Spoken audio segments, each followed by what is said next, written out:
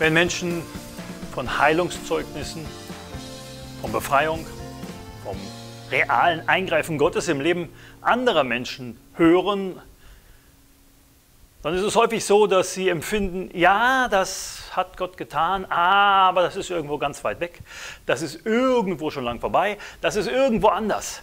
Das betrifft andere, aber nicht mich. Natürlich tut Gott was. In Afrika, in Südamerika, in China, aber doch nicht hier. Das gilt nicht für mich. Das ist eine Falle des Feindes. Das ist etwas, was viele Christen denken, aber was völlig absurd ist. An was für einen Gott glaubst du? Einen, der in Afrika und in China allmächtig ist und hier ohnmächtig? Wir müssen uns überlegen, welches Gottesbild wir haben. Wenn wir davon lesen oder hören, wie anderswo Gott eingreift im Leben von Menschen, dann ist das etwas, was wir als Zeugnis nehmen und sagen, wenn Gott das für die getan hat, dann kann und will und wird er das genauso für mich tun. Denn bei Gott gibt es kein Ansehen der Person. Das, was er für andere tut, kann und will er für dich tun. Du musst das als Zuspruch nehmen. Du musst es halt etwas nehmen, wo ich sage, daran halte ich mich fest. Was Gott für diese Person gemacht hat, das ist genau mein Problem. Das habe ich. Genau das ergreife ich. Und ich sage, Herr, du hast es für diese Person gemacht. Tu es für mich. Und du hältst daran fest.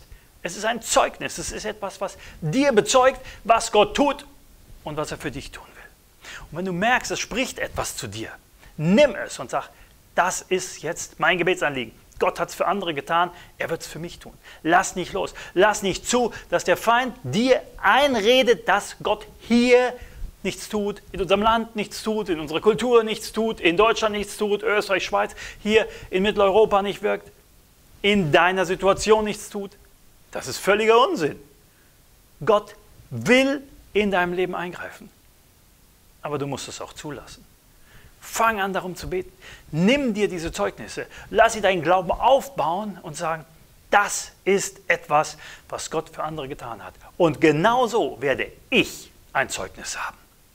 Ich werde solch ein Zeugnis haben. Ich werde für andere Menschen eine Inspiration sein. Mein Problem wird etwas sein, was ich überwinde und was für andere Menschen eine große Inspiration ist. Glaube nicht an einen Gott, der anderswo allmächtig ist und in deinem Leben ohnmächtig.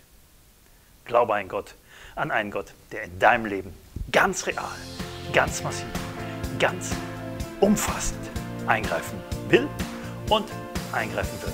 Denn Gott hat mehr für dich.